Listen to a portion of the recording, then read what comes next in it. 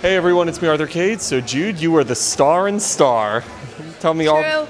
Oh, Ben was singing your praises, by the way, a second ago. Oh, thanks, Ben. What's everybody getting with this show? Walk me through it. Um, drama, uh, glitter, dancing, Lee Daniels, all of that good stuff. But also um, a story, a very real story about young American kids and family and making your own family. It's really cool. Lee Daniels, he's one of the best. Everyone loves Empire. The best. the, be- the Yeah, best. The best. What makes him the best? Like, what makes Lee Daniels so special? Um, he is true to himself all the time, 24 7, and he doesn't. He doesn't let anything get in the way of that, you know, which is, it sounds simple, but it really is what makes people magical.